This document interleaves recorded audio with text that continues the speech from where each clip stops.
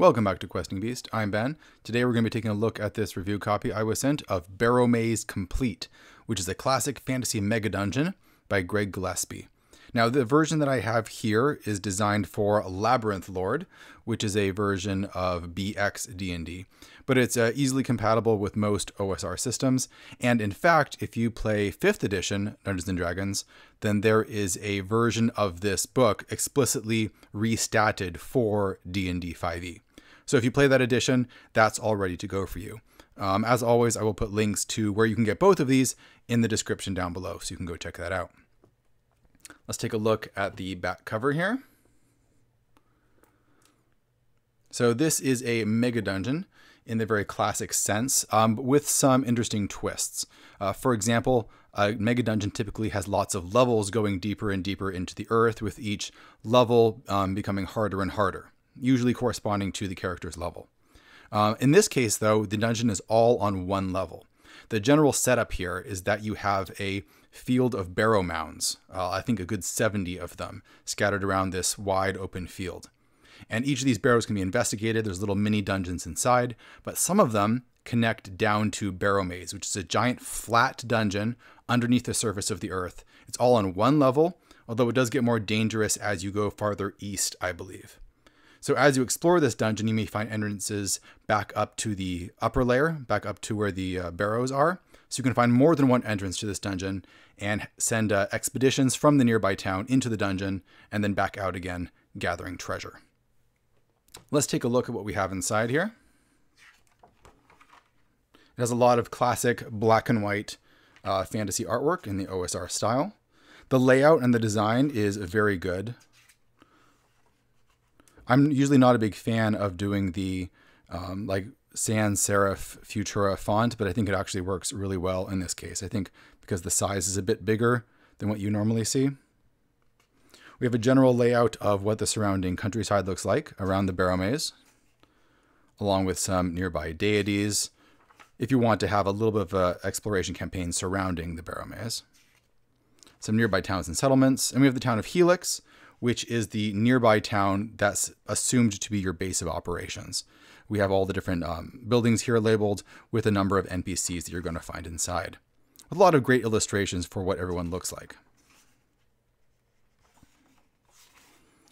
And that's about it for the introduction, because then it gets quickly into what the campaign is like. Ways to set up adventure hooks, uh, random rumors about the Barrowmaze, and a lot of really solid advice for how to run this as a Mega Dungeon campaign.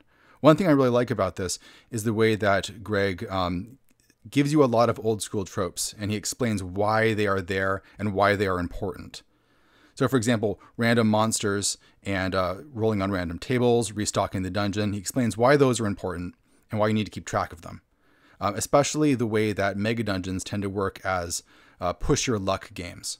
Because the idea is that as you travel into these huge dungeons, your light and your hit points and your other resources will slowly drain as you may run into random encounters.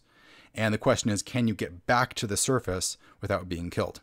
So things like rolling for random encounters when players spend a lot of time digging or searching is a really important rule within these uh, old dungeons to make them work as intended.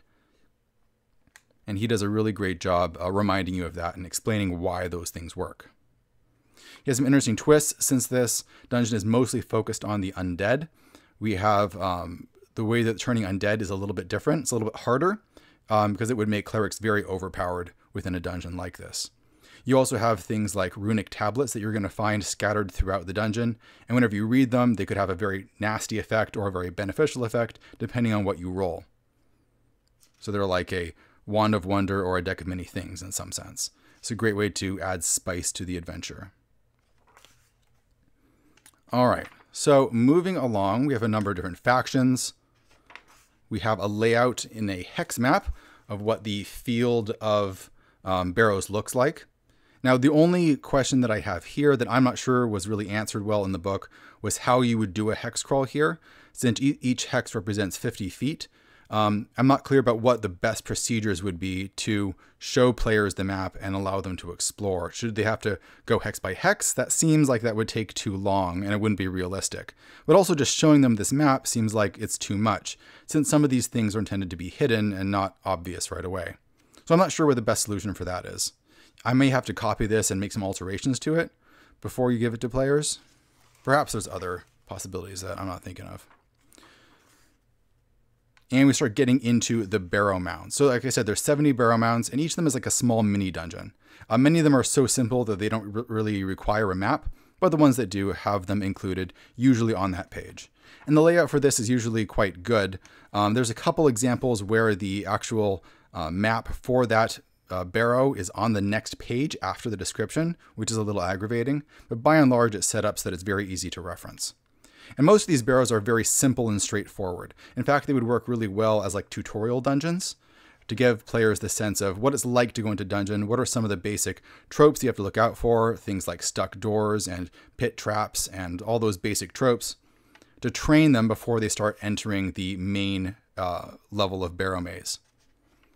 But they can do that right away if they wish. The main entrance is quite obvious, although there are lots of other entrances.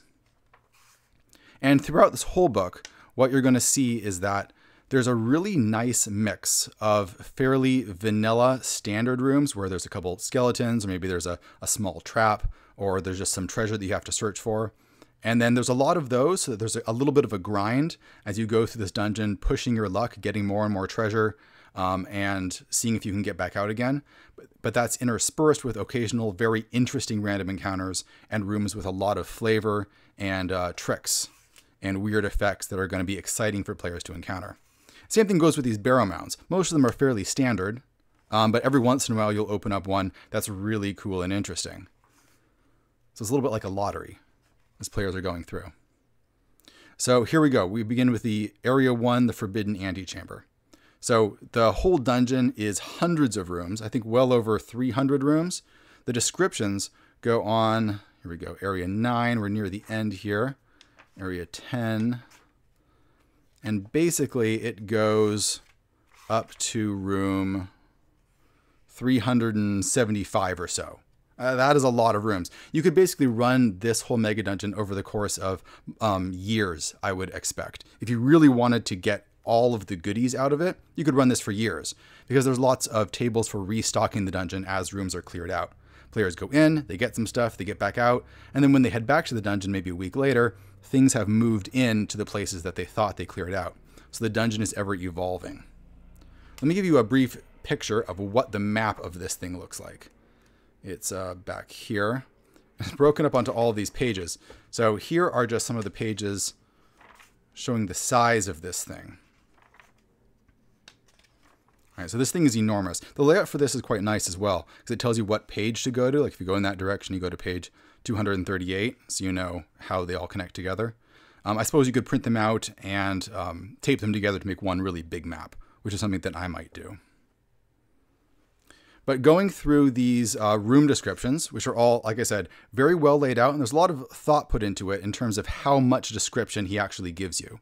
It's not as terse as some of the things that you might see in like Hot Springs Island, where it's just like bullet points, but it's also, it doesn't err in the other direction of having these really long descriptions of mostly fluff. It's a nice middle ground where, for the most part, the rooms are just a paragraph or two, and you can scan them quite quickly and get a sense of what's there. And if there's something really detailed that you need to know, usually the paragraph actually begins by telling you that. So it'll actually say, like, there's some interesting traps and tricks going on in this paragraph. Make sure that you read the whole thing before describing it to players. That stuff is really cool. Um, as well, um, the stat lines for each monster are given right after it's noted. So that's really easy to do. You don't have to really do a lot of referencing looking in the back, um, although there is some monsters in the back.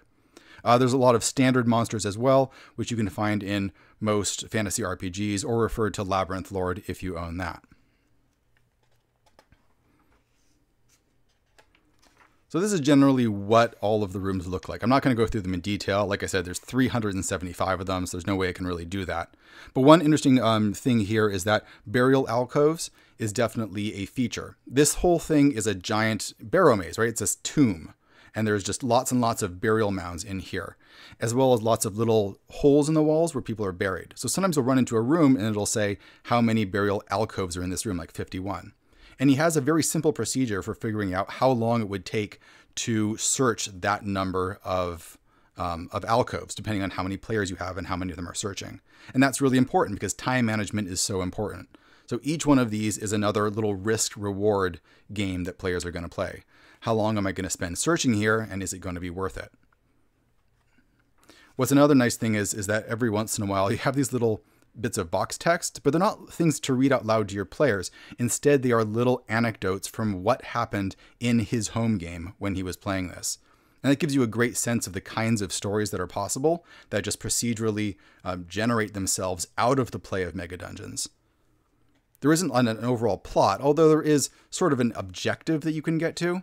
The plot is really something that develops organically as you play the game. And you run into different factions, you have different types of encounters, you gain allies, some of your friends die, and the story just becomes a thing on its own without the book having to make it something. Let's skip ahead a little bit.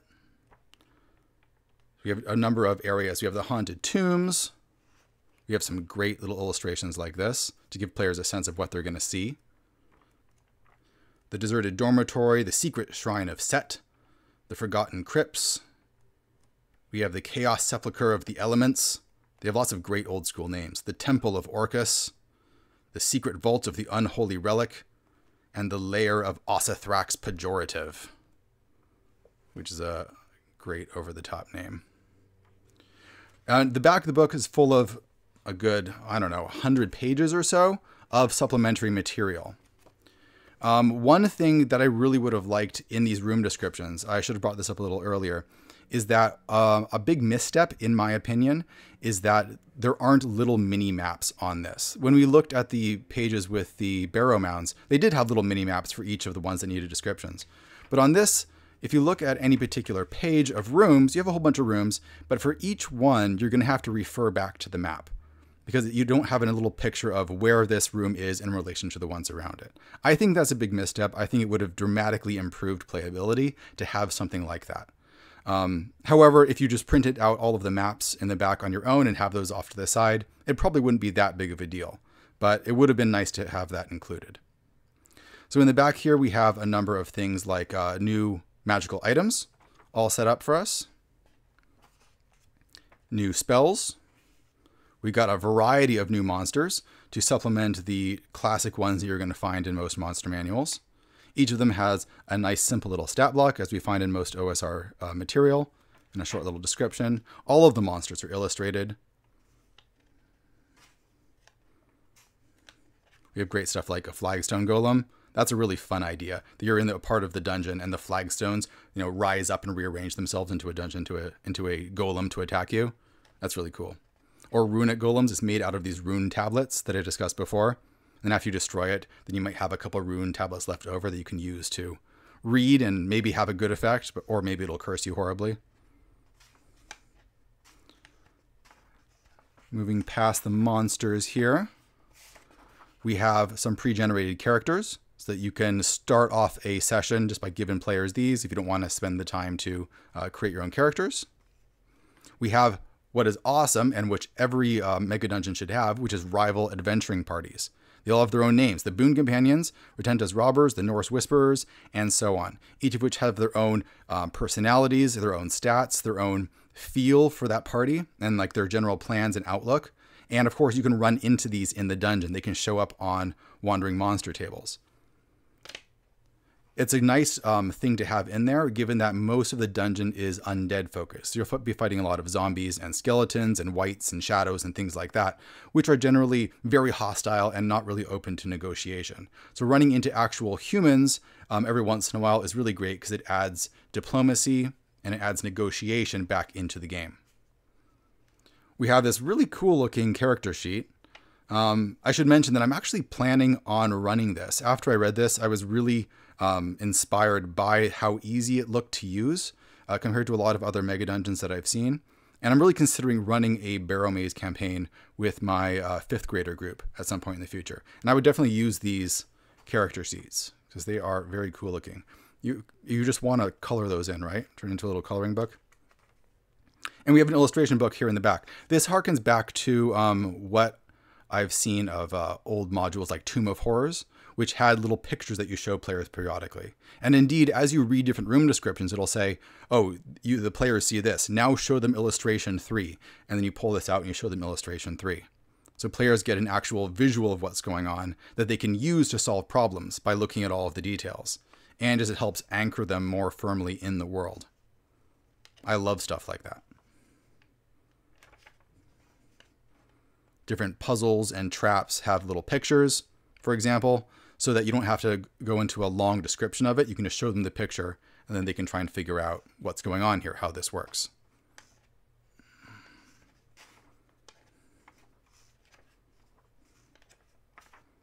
We have, as I showed you before, our main map. We have a number of great random tables for uh, random encounters out on the Barrowmoor, which is the area above the Mega Dungeon, um, depending on what level the players are at. Or, of course, you can randomize it so that any level of monster could show up if you want things to be more random and dangerous. We have a patron generator for the local tavern, random dungeon dressing. So these will show up on random tables periodically when you roll for a random encounter. Sometimes instead of a monster, you'll get something like a sinister human cackle, or you find a wooden holy symbol on the floor.